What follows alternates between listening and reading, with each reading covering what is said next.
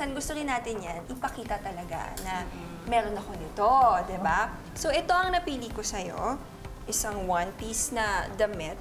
At the same time, may belt siya dito. So, yung shape mo, Andun. nandun pa rin. May emphasize. May emphasize siya. So, susuotin mo ba yung something like this? Oo naman po. Oh, I love the confidence. Kung kaya nila, kaya ko rin.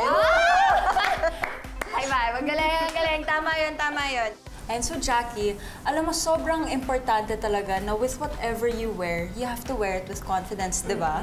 And syempre kasi after today, mawawala na kami sa tabi mo, pero dapat hindi mawawala sa utak mo na kailangan sa lahat ng gawin mo, damdamin mo na you deserve to feel great. Yes, you Diba? deserve to feel beautiful. Kaya, deadmahin mo na ang lahat na nangaasar sa'yo. Kung inaasar ka ng asawa deadma. Kasi, Deadma. after this day, pag uwi mo, eh nakanganga na siya sa'yo sa sobrang ganda mo. Lalo ka pang gumanda, sobrang sexy mo pa. Di ba yan? Okay yun.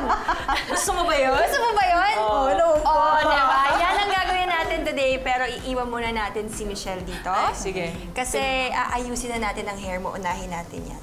Ready ka na ba? Pwede na O po. tara, let's go, let's go, Michelle. Babalikan ka Babay namin. mo na. May kasama tayo ngayon.